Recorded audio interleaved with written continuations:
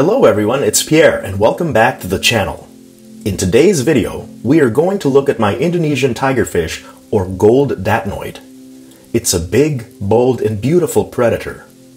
Before we continue to talk about this rare and amazing fish, I'd like to thank you for being a subscriber. And if you aren't one yet, please hit like and subscribe down below. It really helps me bring you more and better videos. Unlike some other datnoid videos on YouTube, I actually own this fish and have raised it from a baby, which allows me to share my knowledge and experience with you firsthand. This fish has many other names including fine scale datnoid, four bar datnoid, and gold tiger perch. Its scientific name is Datnioides microlepis. The gold datnoid is native to Southeast Asia and particularly Indonesia and the Malay Peninsula. It's a freshwater fish and lives mostly in rivers, and it's sometimes caught for sport. I got my fish when it was a 3 inch long baby about 5 years ago. For that size, expect to pay anywhere between 50 to $100, with the price going up depending on the quality, symmetry, and cleanliness of the stripes. This fish is relatively uncommon in the trade, so don't expect Petco or PetSmart to carry these. If you want to get your hands on one, your best bet is a local fish store or even online depending on where you live. Indonesian tigerfish are tropical fish and require a temperature range of 76 to 84 degrees Fahrenheit. They can be adapted to live at a pH of 6.5 to 7.8. They are big fish and produce a lot of waste, and so it is very important to keep the nitrate levels as low as possible by doing large and frequent water changes. Personally, I make 90% water changes every couple of weeks to keep this tank's water clean.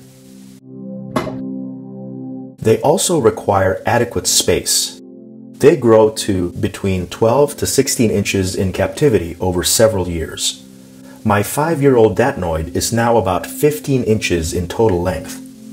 I recommend a minimum of 120 gallons for a single datnoid and ideally 180 gallons or more. I keep my datnoid in a 265 gallon system with polypterus and catfish. Some mild water flow will be appreciated as they live in rivers in the wild.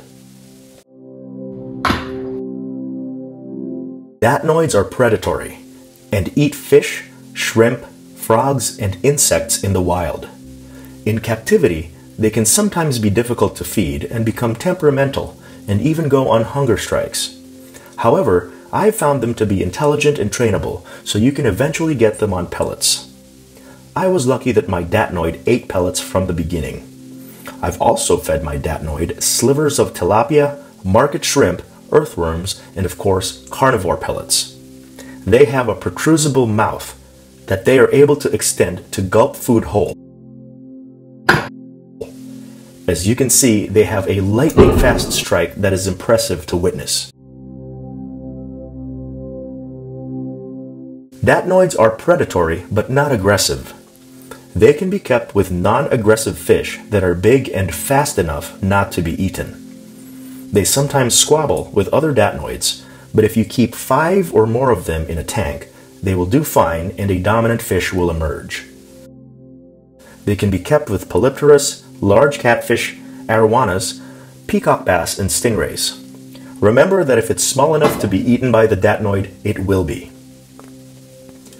One of the aspects of datnoids that hobbyists talk about is stability.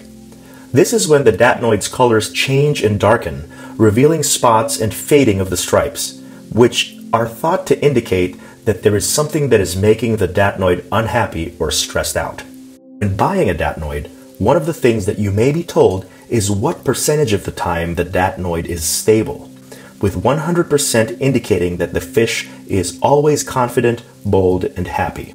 And it shows in its behavior and color, coming up to the tank and exploring confidently, and is almost always a beautiful golden color with distinct black stripes.